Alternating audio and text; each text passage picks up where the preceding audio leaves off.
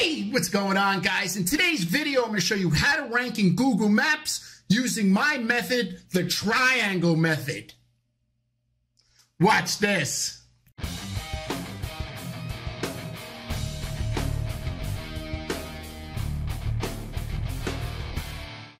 Hey, I dedicate this video to my friend, my brother, Darren Marion, who we lost on uh, November 14th, 2021. I love you and I miss you, brother. All right, guys, what is going on? Hope everybody's doing great. So, in the beginning of this video, I spoke about this triangle method. What is this triangle method you speak of? Well, it's really just three things. The first thing is it's the website, it's the Google business profile, and then the third thing are what uh, customers or clients are saying about you. For example, like in reviews. So, those three things the website, the Google business profile, and what clients are saying about you. If if the website says you sell red shoes, if the Google business profile says you sell red shoes, and people in their review are saying that you sell red shoes, you must sell red shoes. Okay? So, why do I say this? Because people want to, uh, uh, I, I, get calls sometimes and people want to rank for certain keywords, but they can't be found either on their website. They don't have any reviews mentioning those keywords for the services that they provide, and they don't have anything in the Google business profile. Now, in this video, this is just a 500 foot view, right? I'm just making you aware and, and just giving you some tips on some things that you could do right away. I'm not trying to, um, you know, bombard you or overwhelm you. It's just some short tips that you could do, and in five or 10 minutes, going to help your ranking. So let's take a look at this right now. You'll notice on the home page here, it says uh, garage door repair, and installation services in San Antonio, Texas, right? It says it says the the service and it says what uh, where they're from. As we scroll down, you'll see the other H tags. Once again, San Antonio, right? Where they're from and what they do. You really want to hit all these H tags it, um, using the key, using the keyword, which is garage door repair, and, and where you're from. Now, you could be an electrician in Brooklyn, you could be a locksmith in Los Angeles, or you could be a uh, welder in Chicago. Just replace the keyword and the city. Take a look at your website, look at all your H tags, and what I'd like you to do is go back and I'd like you to fix all your H tags and just on the um, use the, the, the keyword that we're trying to rank for and where we're trying to rank. Now, we can't keep repeating uh, San Antonio. So San Antonio is also known as Bexar County, and it's also known as South Texas. See that? South Texas. All right. Another thing that we do on our websites is you'll notice right here, we put a little section about the city. Why is that? Well, we're showing Google what we do and where we do it. We also embed a map of just San Antonio, Texas. This isn't a GMB map, a, Google Business Profile map. This is just a map of San Antonio. We put the Google Business Profile map uh, sometimes on the Contact Us page, right? And you'll notice this is the footer. Now, the real important thing about the footer here is that you copy the hours exactly how they're listed in the Google Business Profile. If you're open uh, Sunday through Saturday, 9 to 5, you have to put it the same exact way that they're in the Google Business Profile.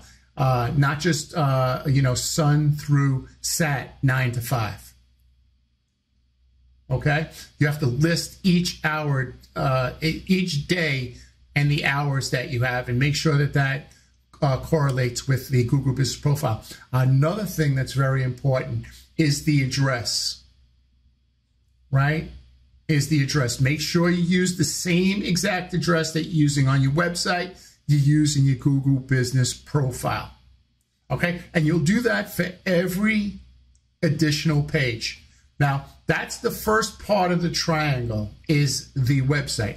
The second part of the triangle is logging into the Google Business Profile and making sure that each one of these sections where you're able to add uh, what you do and where you do it, that you add that. One of the easiest things to do is click here, add an update. And this is where you could do your Google Business Post right here. You do your profile post, you do it right here. So you add a description, uh, San Antonio's number one garage door repair, uh, blah, blah, blah, blah, blah. Uh, here's a button for uh, to sign up or call now. And then you add a picture of a garage door, door repair that you did in San Antonio, Texas, and click post. Hey guys, if you could please like and subscribe, that really helps this channel and it helps uh, get this information out to people just like you who are looking for information on how to rank in Google Maps. So please hit like and subscribe. Thank you guys. Okay. That's something that you want to do. That's a quick, easy fix. Like I said, this is a 500 foot view. It's just things that you could do today. So you have your website, you fixed all your H tags, also, if you could do your title tag, so for example, best rated garage door repair in San Antonio, Texas, right? So you want to use what you do and where you do it. And that's for every single page. Okay. Uh, the next thing you want to do is you want to have, oh, I'm sorry, right here. You want to have your, you want to have your Google business profile. In this case, their only Google business profile is garage door supplier. Now, people who follow me say, well, why didn't you put garage door supplier on the homepage? Because the client doesn't want it. He's not a garage door supplier. Unfortunately, Google only, the only category they have for garage door repair is garage door supplier. So we're not going to put that on the homepage. So we put a link for it. Any GMB category you have, you need a page on your website for. So for example, if, if one of their categories was service establishment, you'd have to put, you'd have to have a page on the website called service establishment. Establishment. You don't necessarily need to put it in the navigation. You could put it somewhere else, you could hide it. But anything you have on your Google Business profile, you need to have on your website. Your services page or all the keywords that you're trying to rank for. And the areas you service are all towns uh, that you're trying to rank for. And you want to start off five or 10 miles from your location, from where you're located. And that's where your Google business profile, where you got that card, where your business is located, where Google believes your business is located. You want to just try to hit some towns that are anywhere between 5, 10, 15 miles away from your town. And just create a couple of pages in a, in a circle, north, uh, south, east, and west and then you have your contact page. The thing I love about this site and, this, and the way that we build sites is we don't confuse the customer, meaning that when somebody comes to the website, phone number is nice and big on the right-hand side. The credit cards are right underneath there, the credit cards that you offer. Where you're located is underneath the logo, and the phone number is, is replicated underneath the H tag right? So some people have, uh, you know, visit us on Facebook and and uh, fill out the form, and you know, some people will have up to seven different ways to contact them all on the homepage. It, it, it's too much. Make it easy for your clients just to tap to call, especially because most of your um, uh, traffic is coming from people using cell phones. Just make it easy. Tap to call. Okay. Right, so that's that's step one. Step two is the Google Business Profile, right? So, like we said, we go to the add the update, and and you you know you could just add an update from there. You could also go to your profile and click that, and make sure it says where you're from and what you do. So in this case, it says San Antonio's number one garage door repair and installation company. That's perfect. And go to each one right? And see if you can add in the keyword and where and where you're from. Okay, go to each one of these of these sections. Like I said, it's 500 foot view. And then the last thing is getting reviews. When you get reviews, And this is just a quick story. I uh, I asked one of our best clients. I said, "Hey, can you give us a review?" They said, "Sure, of course." They sent a review. They said, "Mindsaw is great."